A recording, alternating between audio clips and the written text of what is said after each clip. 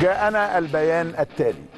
بيان من الاتحاد المصري لكرة القدم نظرا للأحداث التي شهدتها شهدتها الحالة الساحة الرياضية مؤخرا فيما يتعلق بملف التحكيم في كرة القدم المصرية.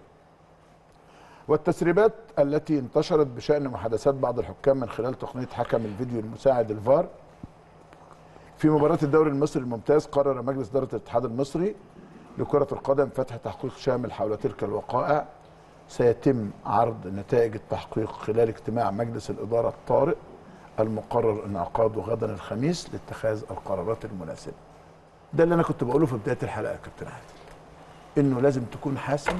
طبعا. حازم حاد قوي عنيف بقرارات آه، آه، مهمة لأنه الدنيا بتهرب منك تماما وإحنا شكلنا ما بقاش جميل ما بقاش لطيف.